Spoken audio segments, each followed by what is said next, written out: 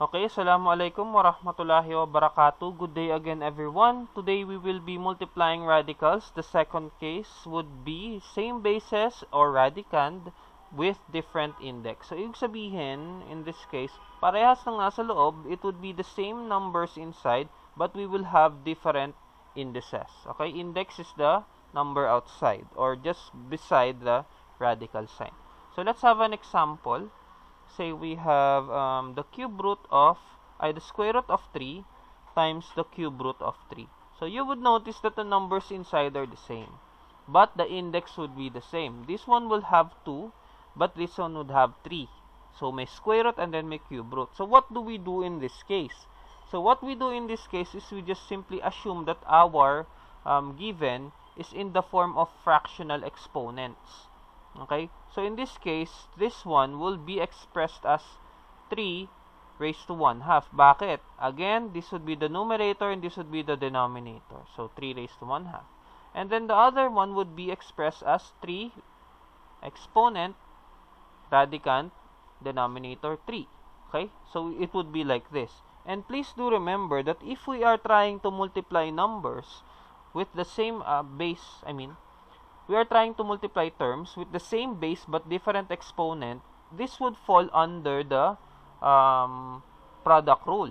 Wherein if you have same bases, you add the exponent. Remember, x raised to n plus x raised to m is equals to x raised to n plus m. A-add natin, we will add the exponent. Adding the exponent will give us 1 half plus 1 third. And if we will try to simplify that, this would be 3 raised to um, cross product tayo, 3, this one, and 2 plus 2, and then directly sa baba, 2 times 3 is 6. This will ultimately give us 3 raised to 5 over 6. Or just simply, if we will try to express this one in our um, radical form, kasi yun naman yung aim natin, we will have the 6th root of 3 raised to 5. And then trying to simplify this one further, it will give us, of course, um, 3 raised to 5. What's 3 raised to 5? The sixth root of 3 raised to 5. Let me try to evaluate that in my calculator. Okay, and this would be 243. And that would be your final answer. So, ano po bang ginagawa natin dito? We will just simply add the exponents. If you have converted your given in the fractional or rational exponents, okay? And lastly, try to simplify, if you could, this um, this part, okay? So let's have another example. Uh, say I have square root of 2 times the cube root of 2 times the fourth root of 2. So ano po ba again gagawin natin in these cases? We will again assume the radicals or transform the radicals in its rational form. This would give us 2 raised to 1 half times um, 2, 2 raised to 1 third and we will have 2 raised to 1 fourth. Again, how, what, how do we do this one? We add the exponents. Okay? We will have 1 half plus 1 third plus 1 fourth. And trying to add this one, uh, let's just try to get the LC, um, LCD. The LCD of 2, 3, and 4 is 4, 8, 12. The answer is 12. So, this is 2 over 12 yan. 2 raised to something over 12 uh, simplify um let's try to ano um change now our fraction. 12 divided by 2 the answer is 6 6 times 1 so we have 6 12 divided by 3 is um 4 so we'll have 4 and this would be equals to 3 yeah so we'll have 6 4 and 3 am i correct? 6 yes. 4 8 12 okay so 3 6 9 12 4 and then 4 8 12 3 okay and then just simply add them together. 6 4 and 12 um this would be 13 over 12 and this would give us the 12th root of 2 raised to 13 and then do not find the square the uh, no the 2 raised to 13 because then again I told you if the exponent is bigger than the index you can take it out. 13 divided by 12 is equals to 1 remainder 1 will give you 2 12th root of 2 raised to 1. Quotient, ito yan. index, uh, uh, remainder would be yung nasa loob. Okay? So that would be our answer. Let's have another one. Say we have um, square root of 4 times cube root of 2. Now, in this case, how can we answer this one kaya? I sorry, uh, not, let's not let's not use square root of 4. Let's uh, use square root of 2 times cube root of 4. Yan. Okay, so how do we solve this one? Express your given in fractional exponent. 2 raised to 1 half times, let's take a look at this one. I uh, Let's try to isolate it. We will have here 2 raised to 2, right? Because 2 raised to 2 is 4. This is what you call equivalence again. Kung katumbas mo siya, pwede mo siyang ipalit. So, you will have um, 2 raised to 2 thirds. Bakit? Exponent, right? Ito. Index. Ito. Conversion again. Okay? So, we will have this. So, once we have that, again, the rule would be add, copy the base, and add the exponent. Okay? Adding the exponent will give us um, 3, 2 raised to 3, plus 4 over 6. Yeah, yeah, yeah, yeah. And this will give ultimately give me um, 2 raised to 7 over 6, or just simply the sixth root of 2 raised to 7. Again, if the exponent is bigger than the index, take it out.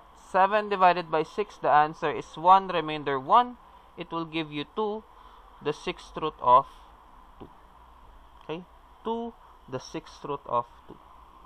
Okay? And that would be um, our given, sum of our given. And let's maybe let's have something ano, um, a little bit difficult. Say we have our, for our last example, 2 square root of x cubed times 3 uh, cube root of x raised to 4 times um, 4 fourth root of x raised to 5 okay? Before we actually go into um, uh, what they call this? Before we actually go into trying to ano trying to change our given into its rational form let's try some other method. Okay? Let's try to take out what we can take out. What do i mean by that? Remember that I told you that if the exponent is bigger than the index, you can take something out.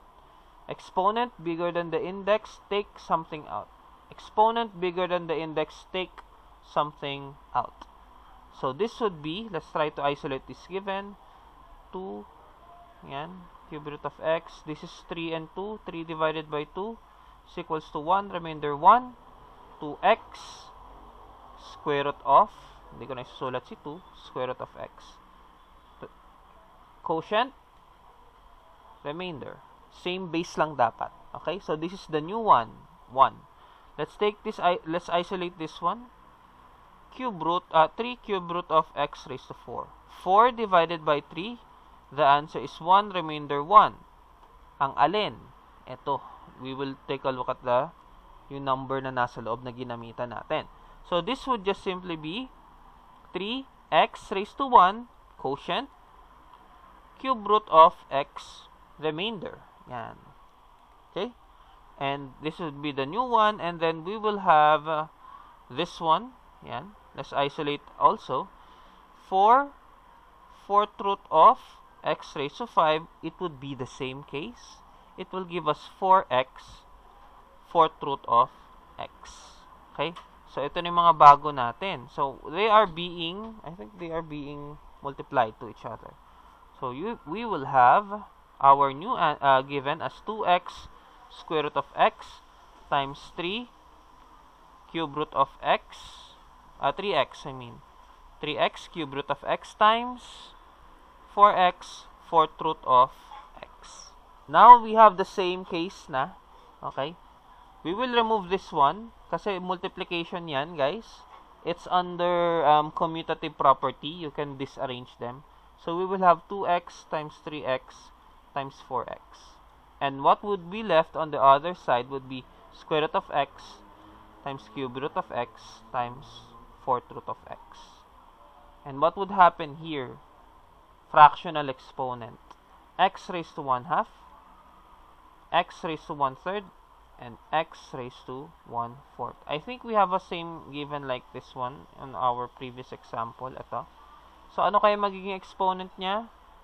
12 truth tayo. Okay? So, ito. Same lang. Dapat parehas lang tayo ng sagot. So, we will have 13 okay, x raised to 13 over 12. Yan. And this can be, um, this one can be multiplied na. 2 times 3 times 4 is, um, 6, I guess. 6 times 4 is 24. So, this would give me, um, 24x cubed. And again, 24x cubed here. And let's try to finalize our given. This would be equals to um, 24 x cubed and the 12th root of x raised to 13. Again, pwede kang maglabas, ilabas mo, 24x cubed times x, 12th root of x. And finally, giving you 24 x raised to 4, 12th root of x. Okay, wait lang. Let's double check if we have any other uh, mistake here. 3 times from... Yeah, yeah, yeah. Okay. So this is correct. 2 times 3 is 6. 6 times 4 is 24. Okay? So that would be it. It's a little bit complicated, yes. But if you have a firm grasp of the ano, loss of exponent and also multiplication of variables, you will be in a good spot in our lesson. Okay? So that would be all.